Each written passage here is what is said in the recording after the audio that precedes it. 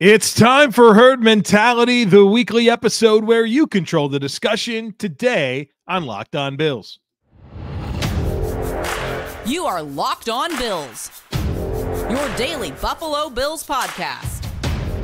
Part of the Locked On Podcast Network. Your team every day.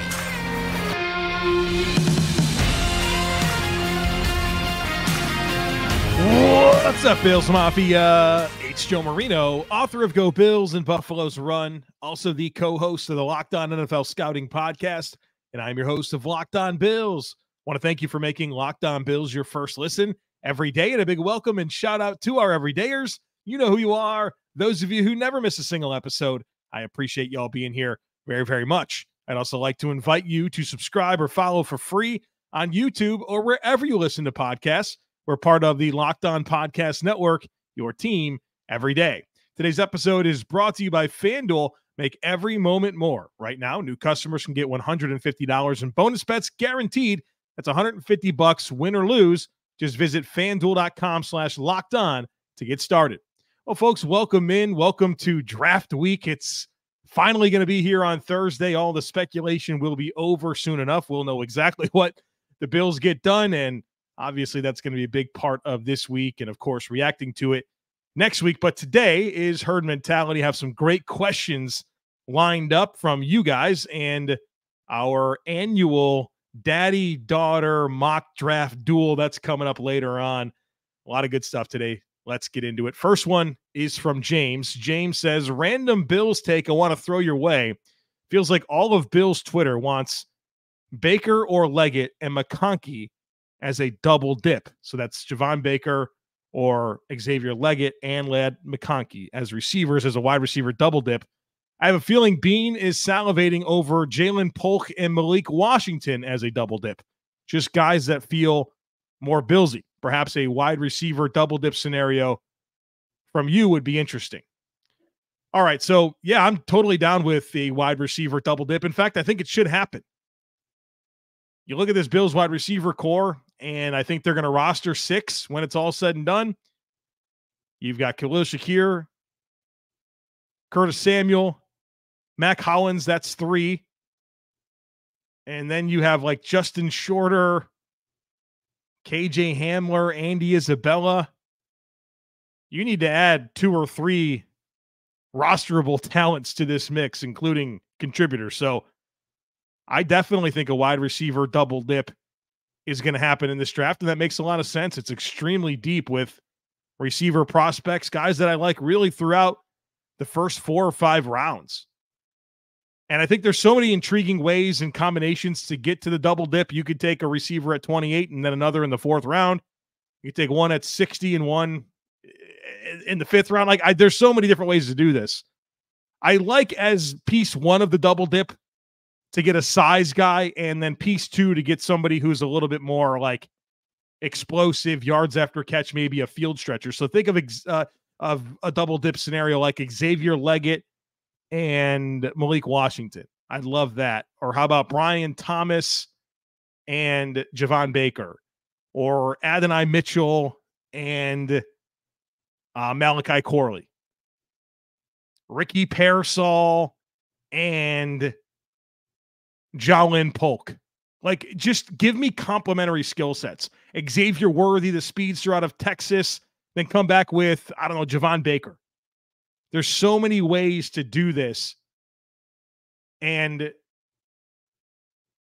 like, I, there's so many outcomes with this that make sense to me, not only like with just the wide receiver discussion, but other players at other positions and how this draft can come out. I think there's so many people that have married themselves to the draft looking a certain way. Well, that's a surefire ticket to being disappointed. Open your minds. There's so many ways to get what this roster needs done in this draft and in the coming months. So, yeah, I'm I'm into the double dip, and I think there's a, a bunch of different combinations, but at the root of it, complementary skill sets, things that the Bills can add to this receiver core that doesn't already exist. That's kind of what I'm looking for in the double dip combinations. Richard says, Is there one prospect that you absolutely hope the Bills get? I know everyone has their preferences. I listen to every episode and I can tell by your tone you prefer some guys over others. But I just want to know is there one player in the current draft that you absolutely hope the Bills get? Let's eliminate any ridiculous trades. Is there a player, if the pick aligns with the talent, that you would absolutely hope we get? Well, asking me to pick one is difficult. I like so many players in this draft. So I'm going to give you a bunch of different options. How about edge rushers? I know that there's the the top 4 and there's kind of a drop off after the top 4, but if you told me like in the fourth round or maybe even in the third if the Bills somehow were to trade back and get a third round pick, Mo Kamara out of Colorado State or Austin Booker out of Kansas, I'd really like either of those picks. You talk about the need at safety. I'd love Cooper DeJean. I think in so many ways he is the perfect defensive back for this team to add. And if he got to 28, I'd love that selection. Also at safety, Dadrian Taylor Demerson, I think, is exactly the deep ball defender that this secondary would love to have. Kind of open up some of their coverage options. Mid round centers, Beaux Limmer out of Arkansas, Tanner Bortolini out of Wisconsin. I think those would be nice depth players and kind of a hedge against Connor McGovern transitioning. And then, you know, if you thought you had a hard time maybe getting a left guard, you move Connor McGovern back. You feel like maybe one of those two guys has starter ability and time. At wide receiver, you know, I love Xavier Legette, and I think he's the the three level threat, yards after catch, deep threat combination player that makes so much sense for this offense. Devontez Walker out of North Carolina as a field stretcher in the middle rounds makes sense to me. There's some defensive tackles I'd love on day two, like Kris Jenkins out of Michigan and Michael Hall out of Ohio State. So many different players that I would love. Um, and those are some just kind of random fits that I think would really improve this roster. Anthony says if Cooper DeJean is the pick at 28, will he finally fill the Buffalo the Buffalo the Buffalo nickel role? With his versatility, I think he would be a great fit for this defense. I know most fans would go nuts if we don't draft a wide receiver in round one, but I think I'm okay with waiting and getting someone on day two. Thanks for being the most rational and realistic Bills content guy out there. Yeah, listen, I, I think Cooper DeJean would be a, an incredible pick at 28 overall. I have concerns about him getting past Philly at 22. Then you have Tampa and Green Bay also in the mid 20s before the Bills pick. So if he gets to 28, you'd probably have a hard time convincing me he's not the best player on the board, like the clear cut best player on the board. I'd rather have him than the fifth or sixth receiver in the draft, to be honest with you, especially when I don't think there's a whole lot that separates that caliber of prospect to what you can get at 60. I think Cooper DeJean would be a slam dunk first round pick. I don't know that he would exactly fill the Buffalo nickel role. I think that you would want to work him in at safety. I think that's where where you really tap into that versatility where I think he can do so many things. I think he can serve as a third safety. Um, but I'm not I'm not really wanting to invent a role for him when you just extended Taron Johnson and made him the highest paid slot receiver in the league.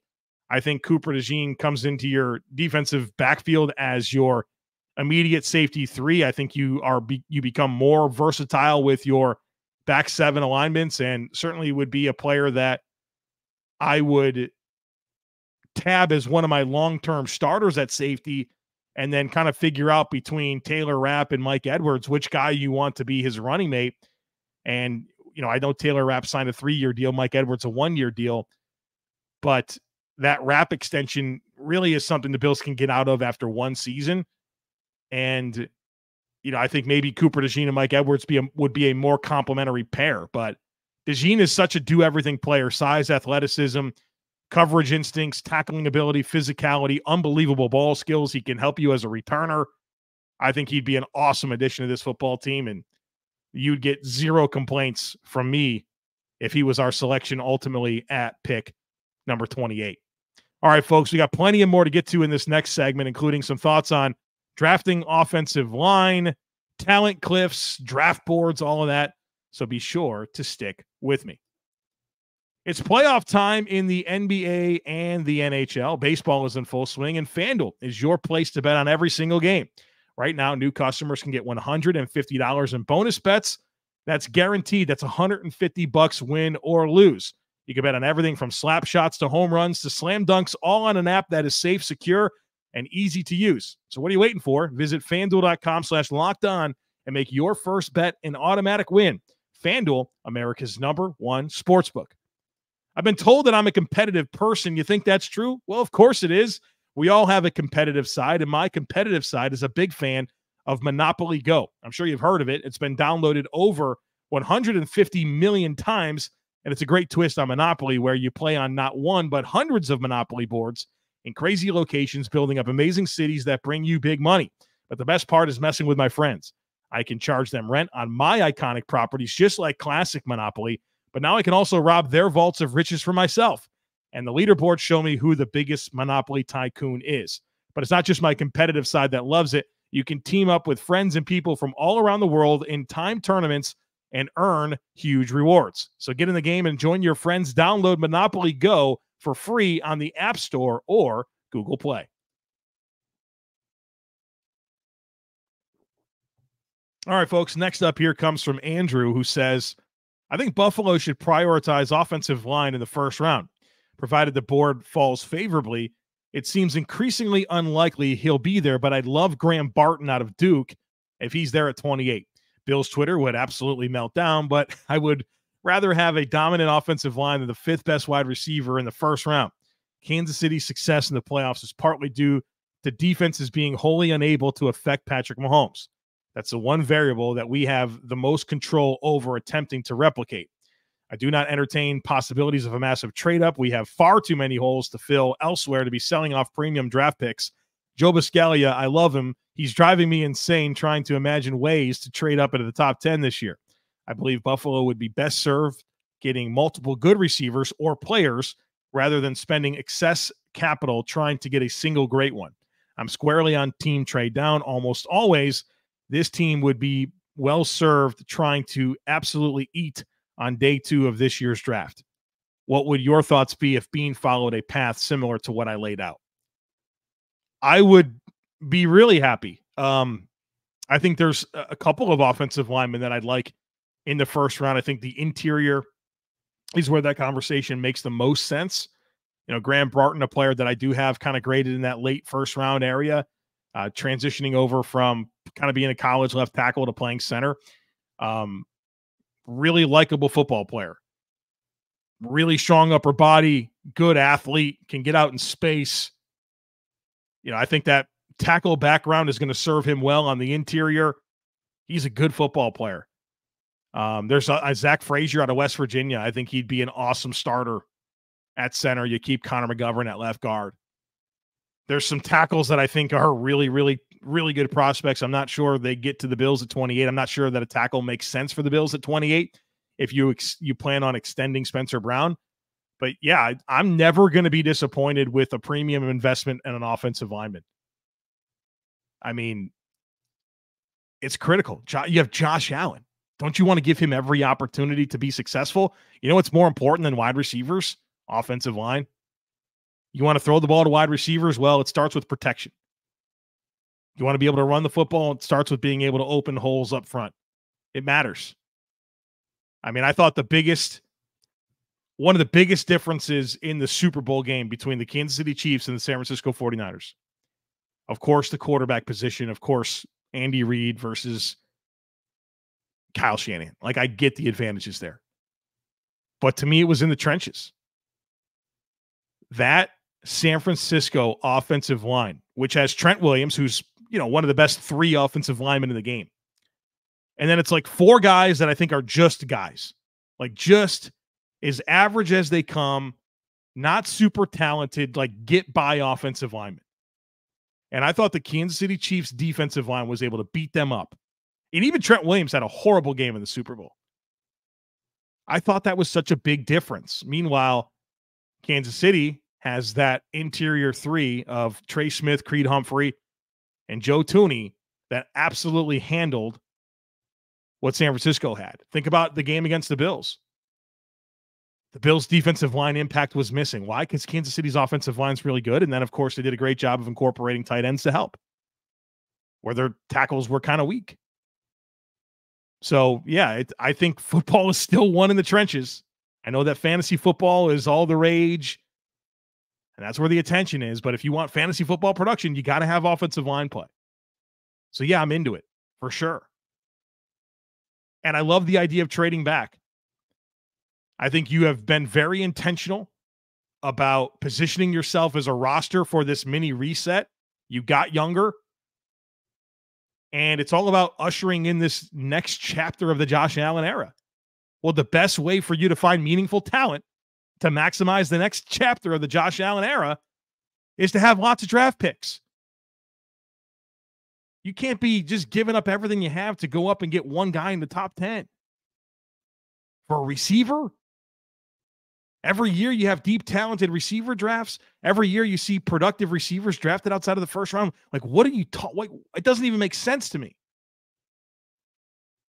Let's build up the most complete roster around Josh Allen and hope that this next chapter can be even better than the one that was just written.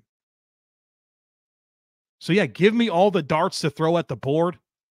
I love some of the research that's come out this year, whether it's been YouTube videos, studies, articles that have been written about, you know, this colossal mistake that teams continue to make in the draft, and it's believing that they they can go get their guys that they love and everything else will fall into place. Like, no, man, it's it's very hard to draft. It's very hard to be consistent drafting. Give yourself as many opportunities to be right about draft picks, and that comes in the form of having lots of draft picks. You're going to go give up a uh, multiple ones, multiple twos to go get some receiver in the top 10? It's hard for me to, to understand that as the best plan for this football team. So yeah, like I'm totally open to so many different scenarios in this draft. And one of them would be include would include an offensive lineman in the first round. One of them would include a trade back into the second round and just stockpiling day two draft capital and giving yourself a bunch of opportunities. Some of these, look at these day two picks the Bills have made recently O'Cyrus Torrence, Terrel Bernard. Like, yeah, James Cook. I think we're past the disappointments of Cody Ford and Boogie Basham and AJ Epenesa. And now we're excited about the development of a Spencer Brown and a Terrel Bernard and a James Cook and an O'Cyrus Torrence. Think about some of those day three hits like Khalil Shakir, like Christian Benford, of course, Matt Milano. Like, yeah, give me all the darts. I want to get more of those guys. I want to uncover more of those guys.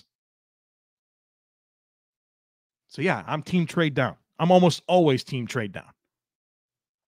Next question here comes from Amy. Amy says, My question for her mentality is that I've heard the, the term horizontal board in regards to the draft. Could you please explain it?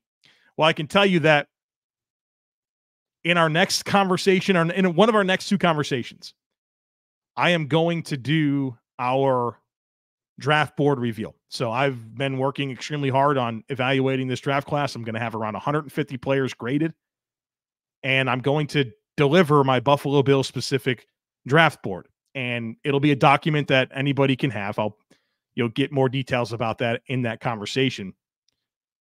But you're going to get a horizontal board from me and a vertical board. And the vertical board is interesting. It's my players in order of how they're graded.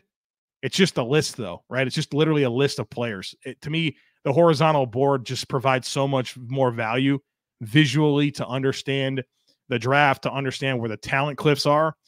And we'll work through it. So you'll see a horizontal board, but again, vertical board, just a list of players in order of how you have them graded.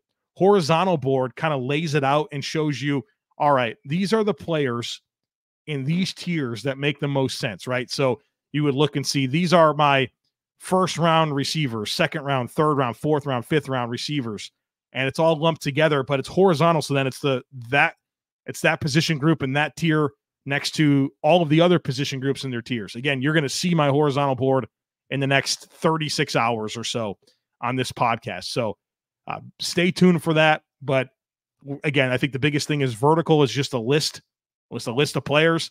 Horizontal provides a visual element that I think really speaks to understanding talent cliffs, where the value is going to be found, where the draft is rich with talent, where it's not. And I think all of that helps inform your decisions, or it should help inform your decisions. So you have that coming up here uh, very soon. So good question. And we're going to get real acquainted with the horizontal board in uh, in the next conversation or so that we have on this podcast.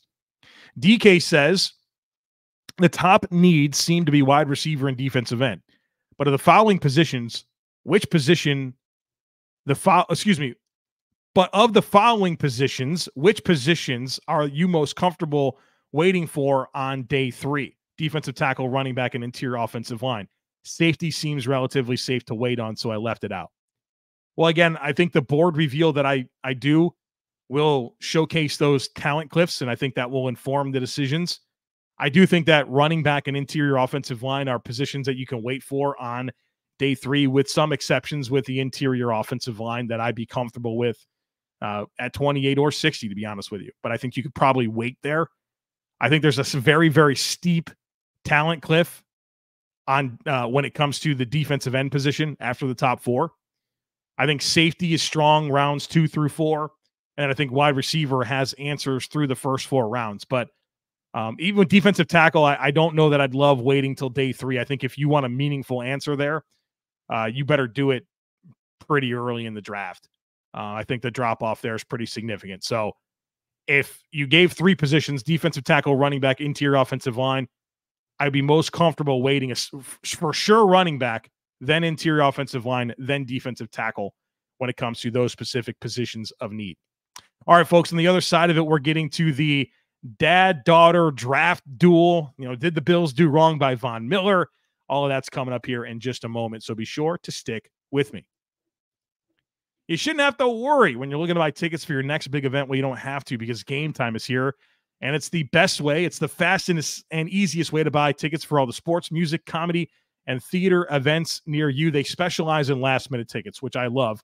We are now a family of four, and my wife and I, we love to go to concerts. And it's hard for me to know right now if on June 29th I'm going to be available to go to a concert. Well, that's what I love about the Game Time app is, you know, we can find out closer to the events if we can go or not and uh, you know they specialize in the last minute tickets, so you know that can help us with our inability to uh, you know say for sure if we're going to be flexible or free on a specific day two three months from now when the concert actually is. I love the app for game time. It's awesome. It's easy to navigate. They give you flash deals, and I also love this. When you buy a ticket from game time it sends the ticket straight to your phone so you don't have to dig through emails to find it. So ta- uh, take this the guesswork out of buying tickets with game time. Download the game time app create an account and use code locked on nfl for $20 off your first purchase. Terms apply. Again create an account and redeem code locked on nfl that's l-o-c-k-e-d-o-n nfl for $20 off. Download game time today last minute tickets lowest price guaranteed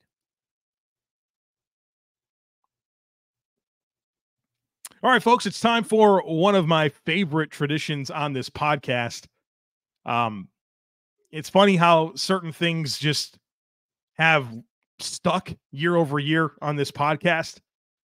And one of them is our dad daughter draft duel, courtesy of Drew and Lexi.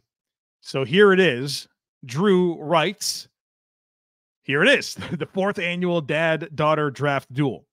In this tradition, my daughter Lexi, now in sixth grade, and I both prepare mock drafts, and you evaluate to see which would be better for the Bills. So far, you have preferred my draft twice and Lexi's once. Given that I am an everydayer and Lexi is a recent elementary school graduate, I feel like I should be doing better. As per your request this year, I'm sending you the drafts anonymously and I'll let you know which is which after you have rendered your decision. In our drafts, trades are encouraged, but you can involve only this year's draft picks. Here are the results. So I have draft one, I have draft two. I'm going to pick one.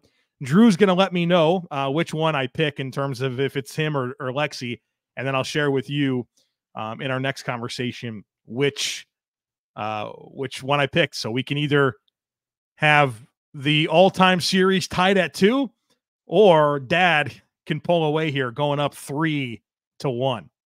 All right. So draft one is a trade back scenario. And in this scenario, the Bills get at pick 36 Ennis Rakestraw, cornerback from Missouri. At 48, they get Xavier Legette, wide receiver, South Carolina. At 78, the Bills get Javon Bullard, safety from Georgia. 128, Marshawn Lloyd, running back, USC. 133, Muhammad Kamara, edge, Colorado State.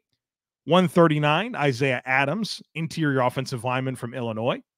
160, Jared Wiley, tight end, TCU. 163, Jamari Thrash, wide receiver out of Louisville. And then at 248, Evan Williams, safety out of Oregon. Good looking draft, right? I like that a lot. The next one's also very good. So in in draft two, the Bills get Chop Robinson at 28, edge rusher out of Penn State. 60, they get Ricky Pearsall, the wide receiver out of Florida. 128, Zach Zinter, interior offensive lineman out of Michigan. 133, Marshawn Lloyd, running back USC. 144, Malik Mustapha, the safety from Wake Forest. 160, Jarvis Brownlee, the corner out of Louisville. 163, Jalix Hunt, edge rusher, Houston Baptist. Pick 200, Tyler Davis, defensive tackle, Clemson. 204, Marist Liufau, the linebacker from Notre Dame. And then a pick 248, Bub Means, wide receiver, Pittsburgh. I'll start by saying this I really do like both drafts, and I would be happy with either. Like, I would literally take either one of these drafts. So, both of you did very well. This is not like an easy decision by any means. For draft number one, I love the trade back. I love being able to get Xavier Legette. I think everybody knows that. I really do like Javon Bullard. He's my number two safety in this class after Cooper DeJean. So to get him at pick 78 is awesome. And then there are some really good middle round picks, like Muhammad Kamara is an edge rusher I really like. Isaiah Adams is an offensive lineman I really like. Jamari Thrash and Jared Wiley, those are great values in the 160s. I think there's a path for both to be really good pros. You know, even though I don't necessarily look at tight end as a, a as a need at all for the Bills, at 160, Jared Wiley's probably the best player on the board. I think that's a really good job. Now, I would love this mock draft even more if Rakestraw wasn't picked at 36. I like Rakestraw. Um, I think he's probably I think he's my sixth rated corner in this draft. I don't think it's a terrible value at 36. I just kind of wonder, you know, if that wasn't the first pick, how the dominoes fall. I think you, you could tell you probably wanted to get a corner, and I get it. Like Rasul Douglas, probably contract year. You still don't really know what you have in Kaiir Elam. I love Christian Benford, but he's only one guy. Um, so yeah, I'm, I'm into the idea of a corner. There's a lot of corners I like. Um, so there's there's plenty to love about of mock draft number one. For mock draft number two, I really love the top two picks of Chop Robinson and Ricky Pearsall. And then there's some really nice values. Malik Mustapha at 144 is awesome. Jarvis Brownlee out of Louisville press man coverage. I mean, he's awesome at that. I'm a big fan. Um, and I, I think I would like date the the draft two a little bit more if some of the later picks uh, look differently. I'm I'm lower on Jalix Hunt. I'm lower on Tyler Davis. Um, I like Bub Means at 248. So it, I I think I'm just a little bit more lukewarm on the day two picks or excuse me, the day three picks for draft number two. So my official choice here is draft number one. I I love the top, but I think the depth of the haul just excites me a little bit more, especially some of those day three selections. So draft one, no idea if that's Drew or Lexi. We'll find out when Drew follows up with me. Um, but if you're on YouTube, why don't you leave a comment? Uh, let us know who you uh, pick for the dad daughter draft duel, and then I'll let you know who the winner is once Drew follows up with me. Next one here comes from Jeff, who says, Did the Bills do wrong by Von Miller with the Stefon Diggs trade? At age 35, Von took a pay cut when he was under no obligation to do so. Then the team used that cap space to take on a $31 million dead cap hit in 2024, which, at least in the short term, has only made the team worse. We don't know what the conversations were like between Beane and Von Miller, but I can only assume that Von agreed to a team friendly restructure of his contract in order to help the team get better right now. All right. So I think this is a fair question, but I do want to, I guess, clarifies the word I'm looking for. The Bills did take on a $31 million dead cap hit for trading away Stefon Diggs. But he was already counting 29 million. Like no matter what, he was going to count against your cap. If you kept him, it'd be 29 million. If you didn't, it'd be 31 million. The difference is now you have a second round pick. in exchange for Stefon Diggs. And I, I don't I do I've said this multiple times. I don't think that part of the offseason blueprint for Brandon Beane was trading away Stefon Diggs. I don't think that was part of his plan. Maybe he was open to it, but I think some of the decisions might have been different if that was what they wanted to do. And so I think that's an important layer to this conversation. Also, I wonder how much of what Von Miller did was just about like his trajectory as a player and, and his desire to be a general manager. I think that's probably a great story for him to tell as a GM one day that look, when I was 34 and I had made all my money and I had injured my I got suffered an injury and I wanted to kind of do right by the team because I believed in it. I put myself in a position where I took this pay cut, right? That's like a a feather in his cap that he can say to players down the road. Yeah, I did this. Right or wrong, like that's definitely something he could talk about. But the root of this question, you're you are paying, you are committing $29 million in cap space to Stefon Diggs no matter what this season. Now it's 31 million and you get a second round pick. It's not like it's not like it was the 29 million and then another 31 on top of that. You have a $3 million or a $2 million more cap hit. You don't get Stefon Diggs, but you do get a 2025 second round pick. That's how I look at it. Slip and Rip says some of us daily drive to work listeners. Some of us are daily drive to work listeners, and your voice is part of our routines. That being said, the lady that does the Locked On intros and promos, can you let can you let us know who she is and if you've ever actually met or talked to her? I'd like to thank her on behalf of the rest of the mafia and listeners. Maybe a shout out to her. So first of all, shout out to that lady. I don't know who that is. Um, they, she does a great job. Uh, does all the Locked On promo stuff. Um, I'll find out who it is. Um, part of my role with Locked On and the, the network um, is all of that creative stuff. All of eh, that's that they handle all of that. My job is just to do the content, right? Come up with the show concepts, do the shows, and then all of those other elements are kind of done for me. I will say this: uh, prepare yourself because a new intro is coming at some point. Uh, they actually made the first draft of it, and I pushed back. I didn't like it. Uh, so so we're redoing that a little bit so that it, it fits more with um, kind of the dynamics of the show that I I want to be certain. But um, it is her voice though. That voice continues. Um, the music will be a little bit different.